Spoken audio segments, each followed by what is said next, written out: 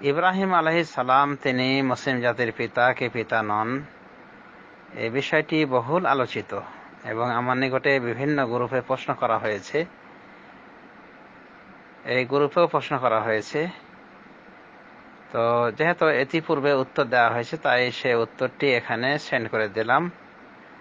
তবে এখানে একটি কথা না বললে নয়, সেটি হলো যে আলোচনায় একটা বিষয় বলা যায় যে ভুল কর্মে বলা হয়েছে, সেটা হলো পূর্বে বলেছি ইসহাক, তার অপর নাম হলো ইসরাইল। এটা সঠিক নয়।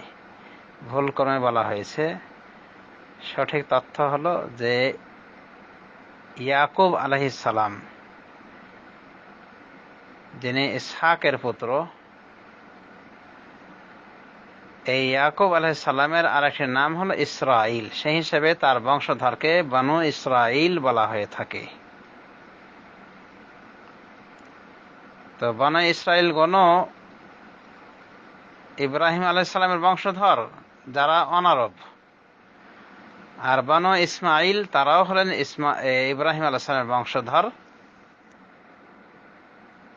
যারা হলেন আরব। সুতরাং এ কথাই দাঁড়ায় যে ইব্রাহিম আলাইসাল্লাম আরব আজম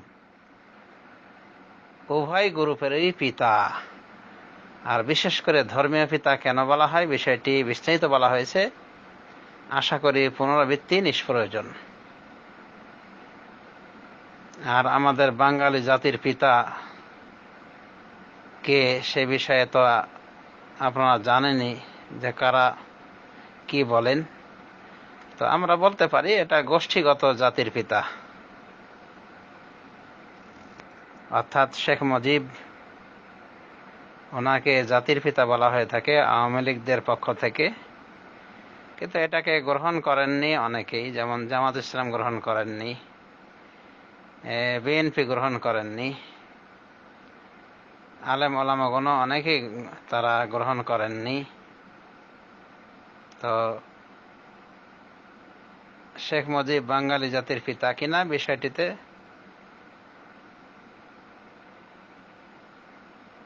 দ্বিমত আমরা লক্ষ্য করছি। এর কারণ হলো যে বাঙালি আগেও ছিল, শেখ মুজিব সাহেবের আগেও ছিল বাঙালি, শেখ মুজিব সাহেব থাকার পরও ছিল এবং অদূর ভবিষ্যতও থাকবে। তো সে হিসাবে ওনাকে যারা জাতির পিতা বলার চেষ্টা করছেন বা বলতেছেন, এটা নির্দিষ্ট একটা দল তারা বলছেন। এটা বলতে পারেন, তাদের ব্যক্তির স্বাধীনতা রয়েছে। কোনোভাবে যারা এটাকে প্রত্যাখ্যান করে, তাদেরও যুক্তি রয়েছে। তো যা হোক, এটা আমাদের নিকটে গুরুত্বপূর্ণ বিষয় নাই। আমরা দলিল ভিত্তিক যে বিষয়গুলি জানতে পারলাম, সেটা হলো যে মুসলিম জাতির পিতা ইব্রাহিম আলাই সালাম এবং সমগ্র মানব জাতির পিতা হলেন আদম আলাইহিসালাম আর প্রত্যেকের নিজের জন্মতা পিতা তো রয়েছেনি আর শেখুল ইসলাম তাইমিয়ার পরিভাষায় আমরা জানতে পারি তার ফতোয়া থেকে যে ওস্তাদগণ মোয়াল্লেমগণ এক প্রকার রুহানি পিতা। ছাত্রদের জন্য।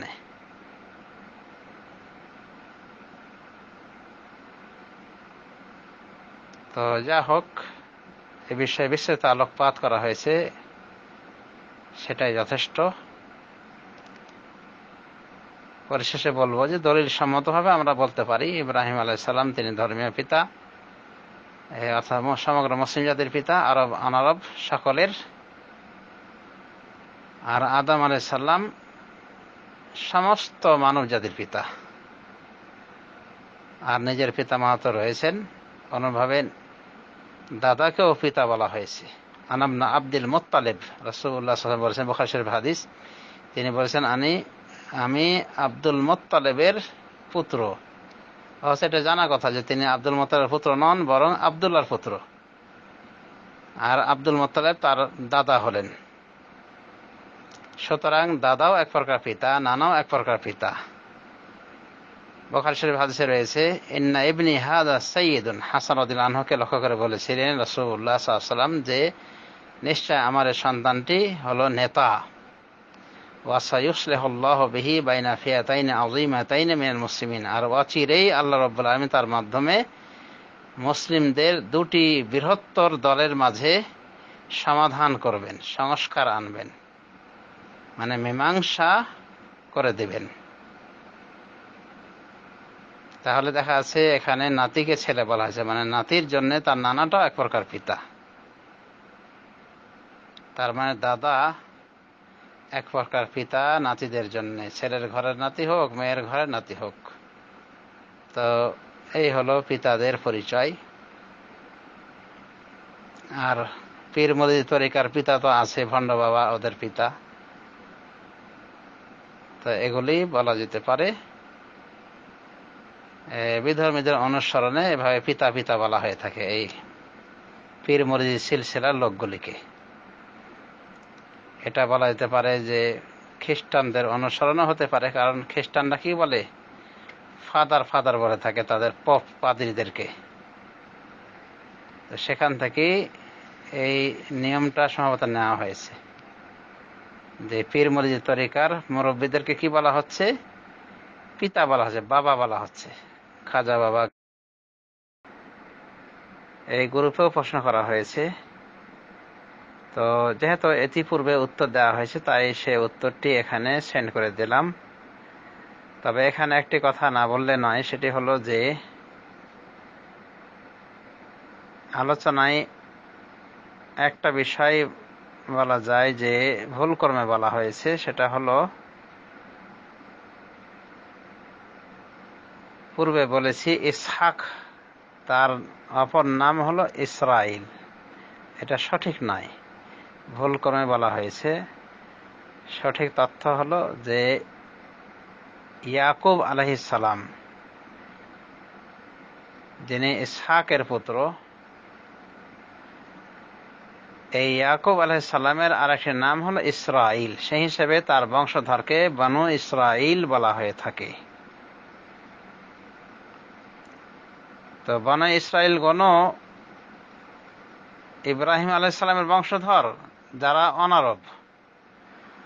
আর বন ইসমাইল তারাও হলেন ইব্রাহিম আলাইসালামের বংশধর, যারা হলেন আরব। সুতরাং এই কথাই দাঁড়ায় যে ইব্রাহিম আলাইসাল্লাম আরব আজম উভয় গ্রুপেরই পিতা। আর বিশেষ করে ধর্মীয় পিতা কেন বলা হয়? বিষয়টি বিস্তারিত বলা হয়েছে। আশা করি পুনরাবৃত্তি নিষ্প্রয়োজন। আর আমাদের বাঙালি জাতির পিতা কে সে বিষয়ে তো আপনারা জানেনই যে কারা কি বলেন। তো আমরা বলতে পারি এটা গোষ্ঠীগত জাতির পিতা।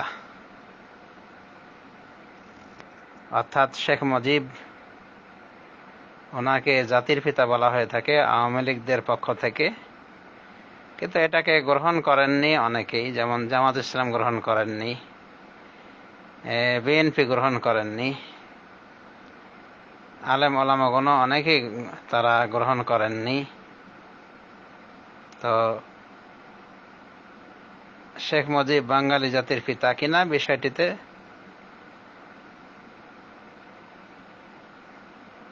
দ্বিমত আমরা লক্ষ্য করছি। এর কারণ হলো যে বাঙালি আগেও ছিল, শেখ মুজিব সাহেবের আগেও ছিল বাঙালি, শেখ মুজিব সাহেব থাকার পরও ছিল এবং অদূর ভবিষ্যতও থাকবে। তো সে হিসাবে ওনাকে যারা জাতির পিতা বলার চেষ্টা করছেন বা বলতেছেন, এটা নির্দিষ্ট একটা দল তারা বলছেন। এটা বলতে পারেন, তাদের ব্যক্তির স্বাধীনতা রয়েছে।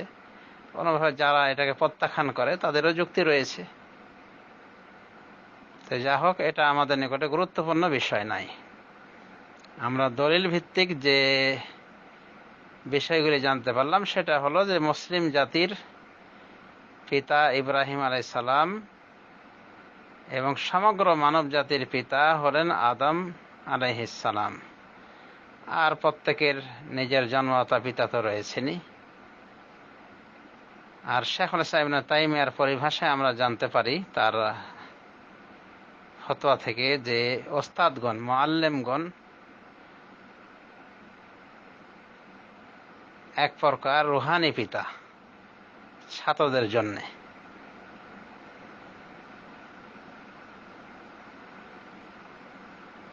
তো যা হোক, এ বিষয়ে বিস্তৃত আলোকপাত করা হয়েছে, সেটাই যথেষ্ট।